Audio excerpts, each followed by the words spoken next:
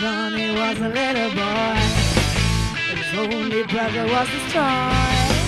Never had a loving family. Only lived in that normality. He let his whole world